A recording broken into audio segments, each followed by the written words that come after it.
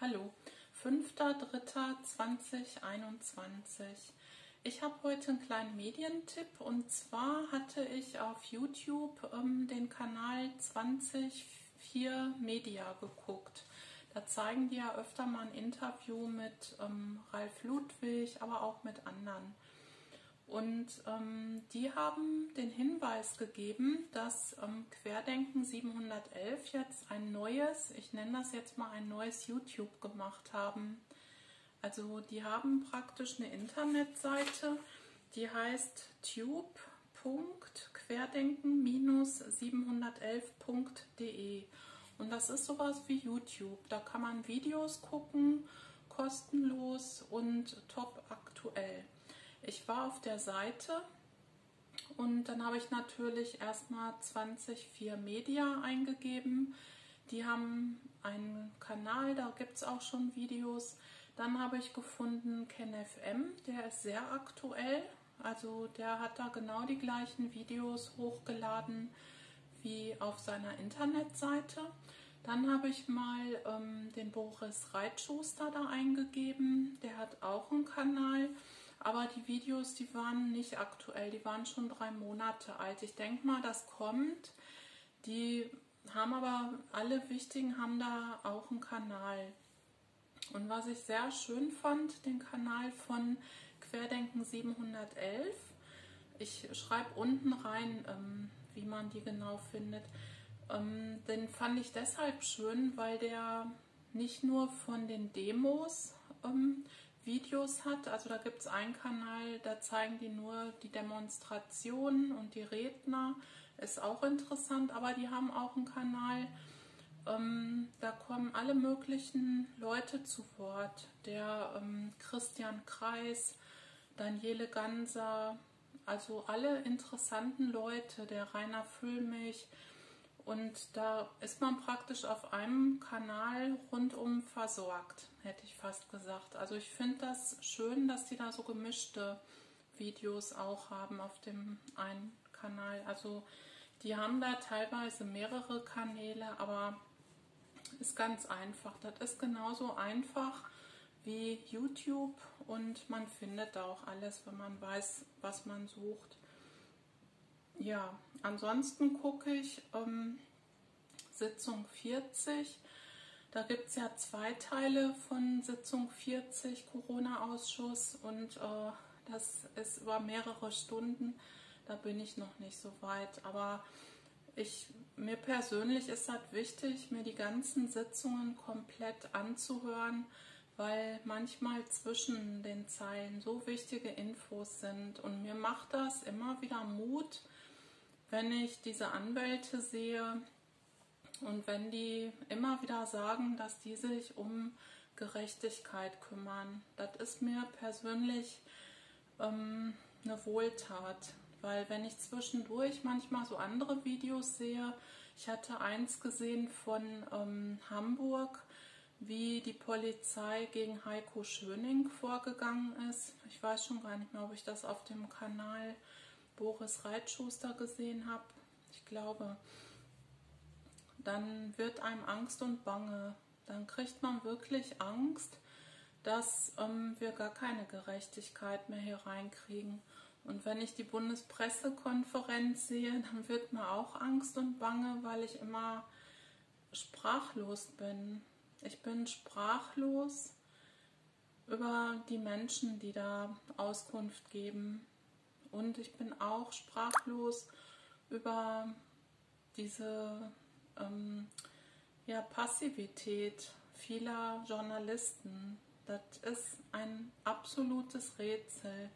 Das ist Ausnahmezustand. Ich kann selbst als Psychologin das nicht erklären.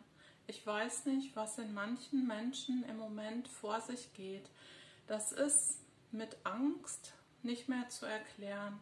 Das ist schon ähm, eine Haltung, wo ich mich wirklich frage, ich sage jetzt mal, das sind viele Leute in meinem Alter, die da irgendwie Pressesprecher sind, die Entscheidungsträger sind, die irgendwie wichtige Figuren der Bundespolitik sind, das sind Leute in meinem Alter, Leute um die 50.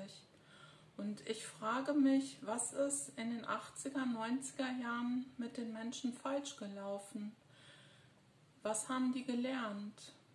Und wenn ich an diese Zeit zurückdenke, da war ich ja auch 1990 war ich 20 Jahre alt und das war eine Zeit der Fülle. Da gab es keine Sorgen. Da konnte man relativ leicht Arbeit finden. Man hat relativ, sag ich jetzt mal, wenn man eine Ausbildung hatte, auch einen Festvertrag bekommen.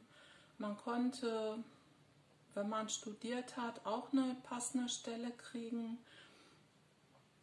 Und ab den 90er Jahren, also praktisch die letzten 30 Jahre, da ist, ähm, ich sag mal, die Wirtschaft immer härter geworden und ähm, das Unmenschliche, das hat sich etabliert. Das, also ich bin eigentlich in einem Berufsleben gestartet, wo ähm, ich live miterleben konnte, wie Dinge sich permanent verschlechtern.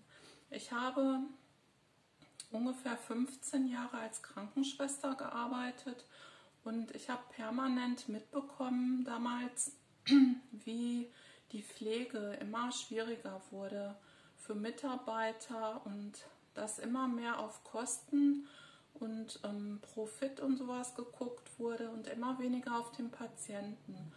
Und später als Psychologin in einer Klinik habe ich auch mitbekommen, dass die Diskussion immer nur um die Abrechnung ging und ähm, dass Diagnosen auch ein bisschen so gestellt wurden, dass man das gut abrechnen kann.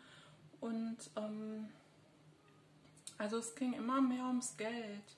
Und Arbeitsverträge wurden auch immer schwieriger. Ähm, also wie soll ich sagen, es wurde immer schwieriger, eine volle Stelle unbefristet zu bekommen. Also ich kann sagen, die letzten 30 Jahre, es ist nicht besser geworden. Und in dem Sektor ähm, sozialpädagogische Betreuung von Arbeitslosen, da habe ich ja auch gearbeitet. Ähm, ich sag mal, der Kunde ist König, ist nicht unbedingt die Überschrift. Also es geht eher darum, Leute in Maßnahmen zu stecken, damit die aus der Statistik verschwinden und nicht mehr als arbeitslos dastehen und ähm, nachhaltig sich um jemanden kümmern durch Einzelcoaching und wirklich gucken, was möchte derjenige. Ne? Nur weil einer irgendwas gelernt hat, heißt das nicht, dass er den Beruf machen möchte. Ne? Und nicht jede Frau, die arbeitslos ist, möchte Altenpflegerin werden. Und nicht jeder Mann möchte als Helfer irgendwo bei einer Zeitarbeitsfirma arbeiten. Ich sage das mal so. Also ich habe schon mitbekommen, wie sich die Zeiten geändert haben.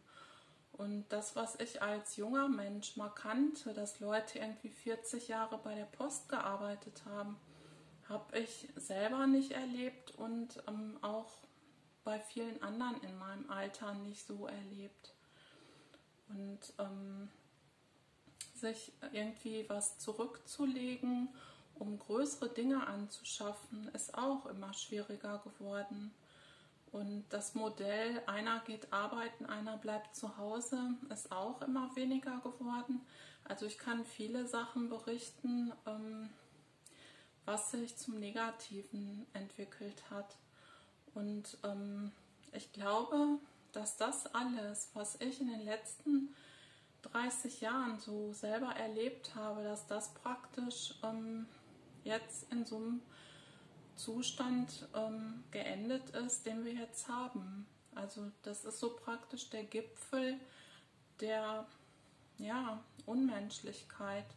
Das ist im Moment ein Zustand, den hätte ich mir nicht vorstellen können. Und Trotzdem muss ich ehrlicherweise sagen, dass ich die ganzen Jahre gespürt habe, dass das immer, immer in die falsche Richtung läuft. Und man versucht dann persönlich irgendwie das Beste draus zu machen und verändert sich und äh, bildet sich weiter und ist offen für was Neues und ähm, dass das Ganze aber ein systemisches Problem ist, ein strukturelles Problem ist, wo man gar nicht mehr mit Einzelfallcoaching, sag ich jetzt mal, gegen ankommt, weil die Leute da gar nichts für können, weil das einfach schon von der Politik so angelegt ist, dass so und so viele Leute arbeitslos werden müssen. Und ähm, die, die einen Job haben, werden immer härter rangenommen, kriegen immer weniger Geld, ist auch angelegt. Und dann heißt das immer, ja, du musst dich besser qualifizieren. Das sind diese, ich kenne mittlerweile ganz viele Sprüche, wo ich immer denke, das ist eine schöne Umschreibung für, wir haben viel zu lange eine falsche Politik gehabt. Und ähm, das kann auch, ich sag mal, bald keiner mehr leugnen. Weil so wie im Moment in die öffentlichen Kassen reingegriffen wird von irgendwelchen Leuten, die dafür gar nicht befugt sind, ähm, muss man sich nicht wundern, wenn nichts mehr über ist. Also aus dem Grund gucke ich Corona-Ausschuss, weil das ist so für mich der Strohhalm, wo ich ähm, mich dran festhalte und wo ich glaube, dass es doch noch Menschen gibt, die intrinsisch motiviert sind, die Welt zu einem besseren Ort zu machen. Nicht, weil sie dafür bezahlt werden, sondern weil sie ein Herz haben und weil sie nicht nur für sich selber das Beste wollen, sondern für alle. Und ich glaube daran. In dem Sinne. Bis bald.